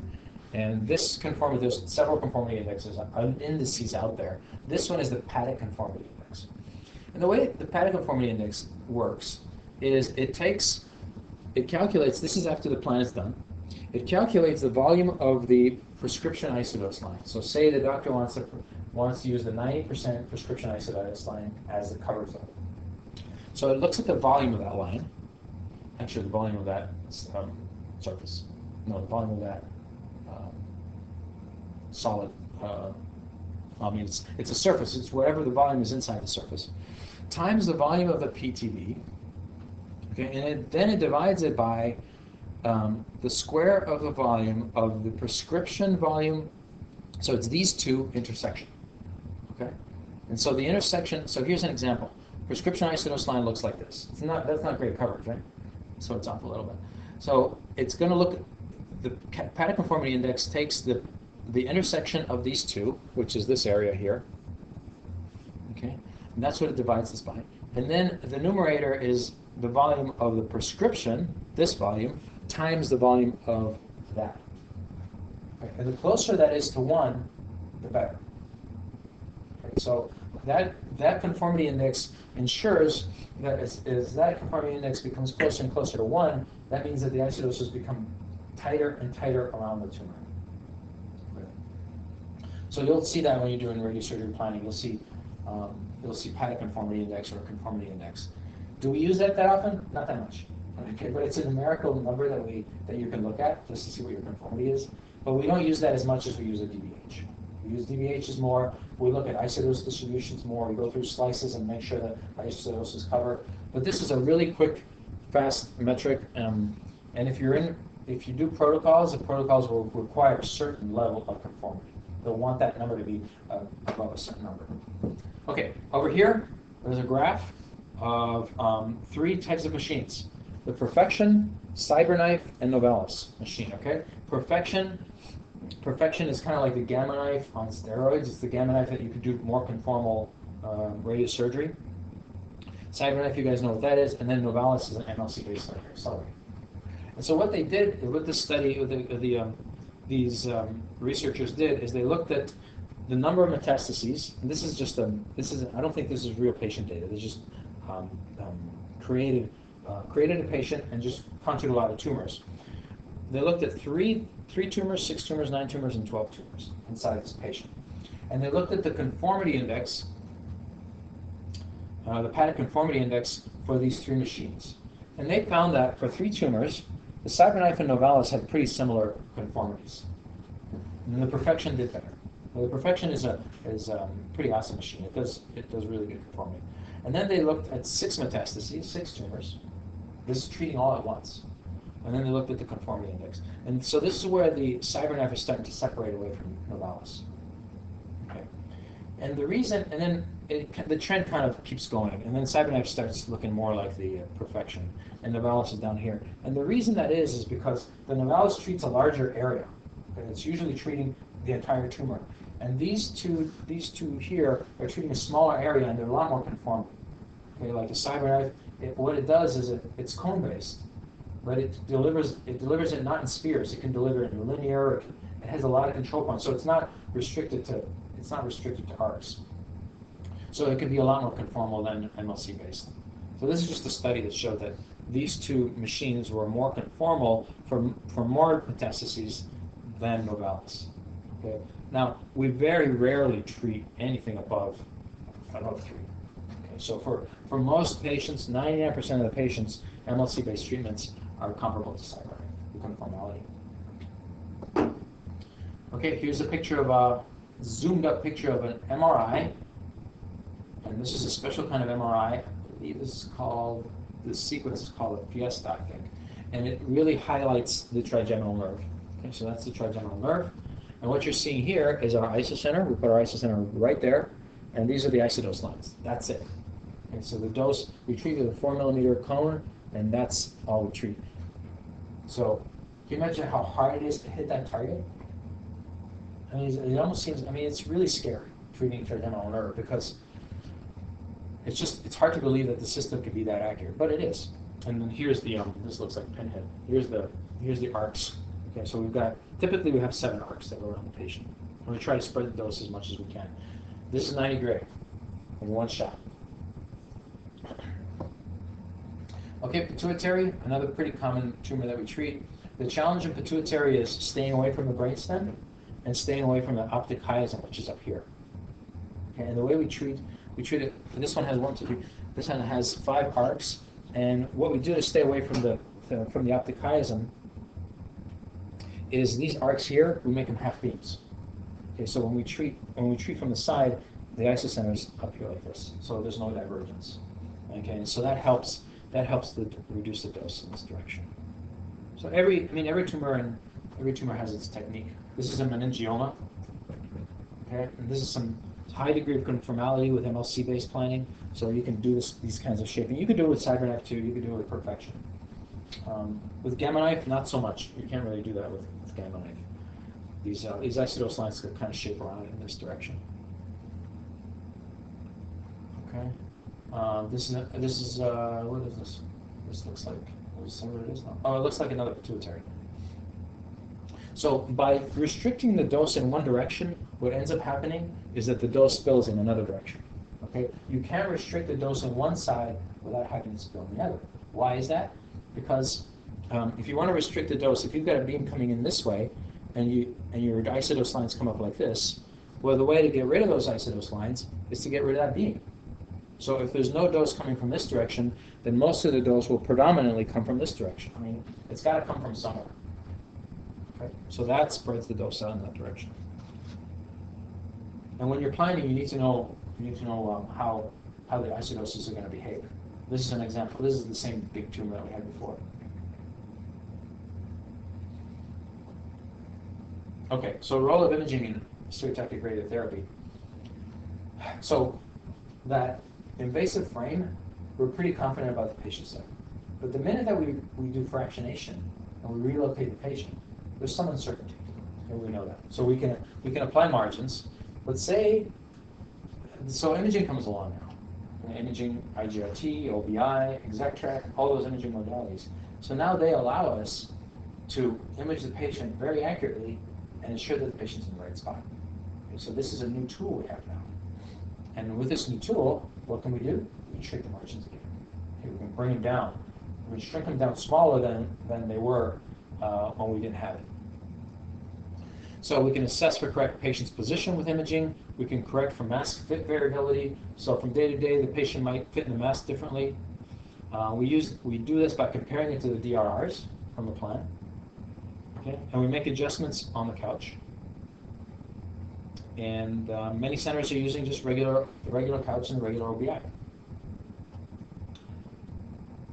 So here's a, this is a, this is the picture of the Atlantic Evanston Hospital, right, Jimmy? Looks familiar? Okay. With a beautiful view of this forest behind it. They got this, they got these templates for the closets, for the air cabinets. Um, so anyway, that's that's our Linux accelerator, and there's a couple of special special things. And this is still we're still talking about imaging here. There's two subfloor X-ray tubes directed to amorphous silicon panels. Okay, so these two X-ray tubes. There's one X-ray tube here under this home plate. There's another one under this home plate. And the patient lies down on the couch. They're brought up to isocenter, and the head is up here, and we can image the position of this head with this with this plate, and then we get the stereoscopic aspect by imaging from another direction. And so we do that before every before every fraction. That's the computer that runs the ExacTrac system, and that's the X-ray generator. Uh, I don't know if you need to know that one. There's a okay. Now we also have a 6D robotic couch. This is, thing is fantastic because this thing will pitch, it'll turn this direction, and it'll roll too. So if the patient's lying down in their mask and somehow they've done this and they've been set up that way, with a regular couch you can't correct that. With a with a robotic 6D robotic couch you can. Okay. Of course, the imaging system has to be able to detect that. All right. So here's a here's a couple of screenshots of what the robotic couch can do. Okay. So this currently is a brain it's a BrainLab couch and it gets you can buy it for um, for varying machines. The load is not that high, it's only 300. A regular couch goes up to 450. Okay, and so here's here's how the ExacTrac works. Here's how imaging works. Uh, we'll take this is a picture of let's see this outside picture is a picture of the X-ray we just we just took of the patient. This is one tube and this is the other tube. And this is a spyglass, a little square, which is where the DRR from the planet is. And we can move this thing around and compare it to our current picture. And it actually has automatic fusion, so it'll fuse the two. And after it's done the fusion, it'll tell us what our shifts have to be. Okay, so it'll tell us our couch shifts. It also gives us, these are just translational, it also gives us angulation shifts. It tells us what our couch shift is. Okay, that's huge. Okay, we usually don't see seven millimeters. Okay, and then we move the couch into position, and then we reshoot the x-rays to verify. And usually when we reshoot them, we're less than 0.5 millimeters. So it's an extremely accurate system. OBI is not that, not as accurate as that. So what does this give us? Look at that. We're within 0.5 millimeters accuracy. That's almost, we're almost talking about the accuracy of the invasive head frame now. Okay, so we can, again, shrink the margins and gives us a lot of confidence about um, what we're treating. Okay, and patient SAB. So this is basically how we set up a patient. These, uh, these infrared reflective markers right here are monitored by an infrared camera that's in the ceiling. So when the couch moves, everything's being monitored. The infrared camera is monitoring this as it's as it's shifting the couch around. So so that's how it, gets its feedback. So it knows where it's going. Okay. Mm. So and so with all this new technology, we got to do all new QA tests. So you have to. Our job is to understand how this works and do the QA that the manufacturer recommends, and we have to know how to pick up red flags when there's an issue. So so there's a lot of QA involved. This is another system. This is the RT Align system. So the patient lies down in here. This is a mouthpiece. And then there's cameras in the room that monitor the patient's position. And what they do, they're really cool cameras because they map the surface of the patient. Okay, so one color is the current current patient's position, and the other color is the patient's position in CT, where the plan comes from. And so they, they lay the patient down, and this system actually moves the couch into the proper position, and it melds the two surfaces together. Okay. The advantage here, there's no X-rays. You don't have to take any X-rays. Uh, and then you're um, for breast, it's uh, for they use this for breast because it's better line breast based on the surface um, compared to taking X-rays. So that's the RT Align system. They use it. They use it at uh, University of Chicago. Now, RT Align SEP. This is interesting. RT Align SEP accuracy can be affected by facial expression change and possible weight changes. So if the patient's smiling in the sim and then frowning in the treatment room, it's not going to be able to detect it. It's going to have a problem detecting the difference. So this is obviously this is only an issue for, for SRS when you're looking at the face. You're not gonna you're not gonna look at this stuff for SRS. You're gonna look up here for SRS. Okay, so this system has some limitations. Conclusion: The OSI system is capable of detecting. Look at that, 0.1 millimeter, so it's extremely accurate. Of a phantom near real time. Uh, so as the patient moves, it can detect it in real time. This new frameless SRS procedure using maskless head fixation system provides immobilization similar to that of conventional frame-based SRS. Head motion monitoring using near real-time surface imaging provides adequate accuracy and is necessary for frameless SRS. So the advantage here is that you're not using this mask and and patients aren't claustrophobic. It's kind of, it's more open. Okay, so here's some dedicated Linacs. I told you, um, the Varian Trilogy is a dedicated Linacs. We have one of these at Evanston. Thousand MUs, thousand MU per minute. This is great because you can get the treatment done quickly. Why is that important, getting the treatment done? The longer they're on the table, the more they can move. Yeah. OBI and CBCT available, 120 leaf MLC, or you can get cones for the Linac. Uh, BrainLab Novalis TX, that's the newer BrainLab uh, machine. It's kind of it's kind of like a trilogy with a high definition MLC and a robotic 6D couch. Okay, it's really the same thing with a couple of extra things. CyberKnife, you guys know about CyberKnife, and then Elekta Axesse, that's the uh, the Elekta stereotactic specific Linac. Gamma Knife SRS, we talked about this a little bit, has 201 cobalt 60 sources, very precise for patient positioning, no moving parts except the couch. Um, you can use multiple isocenters to get conformity. Long treatment times due to reposition the patient for each isocenter, so you have to move the patient for each isocenter. And there's many isocenters at times. And you have to change the sources out every five years. Okay, so It's approximate half-life of cobalt. Extremely expensive to do that. And then here's the collimator helmet. So the patient, the patient has an invasive head frame, and this they get they get docked to this helmet. Okay, so each of these little each of these little cylinders is a is a collimator that lets the cobalt 60 radiation through, and you can pull these out if you don't want to treat certain ones. You can pull them out and block them. So you, if you don't want to treat from that from that direction. Okay. So they're Alexian Brothers and Northwestern. That's where they have. CyberKnife. So there's a tiny Linac in there. Well, there's a smaller Linac in there, and then um, the robotic, the robotic move. Again, it doesn't move in a circular pattern. It can move in in um, many ways, cone based, and it's non-isocentric. And then the Perfexion is the newer gamma knife, and the difference between the Perfexion is that the sources move. Okay, so they can. The, in the old gamma knife, the sources were stable. In this one, the sources can move, and they can. When they move, they can move to different collimator sizes so the patient doesn't need to move around. Okay, 100, this one has fewer cobalt sources attached to eight movable sectors, and there's higher conformality of isodoses than the older unit. The Varian has a TrueBeam STX, next generation. This STX has 2,500 ma- uh, per minute. Treatments again are even shorter. Improved OBI, geometric accuracy. It has a robotic couch, and um, I believe they're using the BrainLab couch. And then MLC tracking. What they're going to do in the future is MLC tracking. So as the patient breathes, more for more for breathing, more for SBRT. As the patient breathes, the MLCs will track. It'll be it'll move around as, as the tumor moves. And then this is a new, uh, really neat unit. They're already starting to show this at the uh, at the trade shows. It's called a Vero. It's a Mitsubishi BrainLab uh, joint venture. It's a rotating Linac, kind of like a tomotherapy unit. Linac rotates 185 degrees plus 60 degrees in the other direction. So it can rotate in this direction as well. So it gives you more degrees of freedom. MLC moves independently. It's on a gimbal and moves on its own. The isocenter accuracy is really good, 0.1 millimeters, and it's intended, the main purpose is to treat moving targets. So that will be, we're going to start seeing those pretty soon. And that couch, by the way, oh yeah, that's the same couch we have at Evanston, a robotic catch.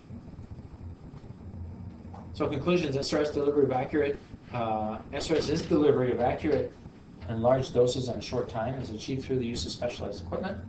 Accurate imaging phasing out invasive head ring, okay? So invasive head ring, this is something I didn't say, but the invasive head ring is starting to disappear because we've got imaging and we trust our imaging and we can get accuracies um, that are just as good as the invasive head ring. Fractionation increases possible candidates for SRS. Okay, so fractionation allows us to treat more patients and different uh, larger tumors and tumors that are closer to critical structures. New machines offer faster treatment delivery and more tumor tracking. That's it. That was 43 slides.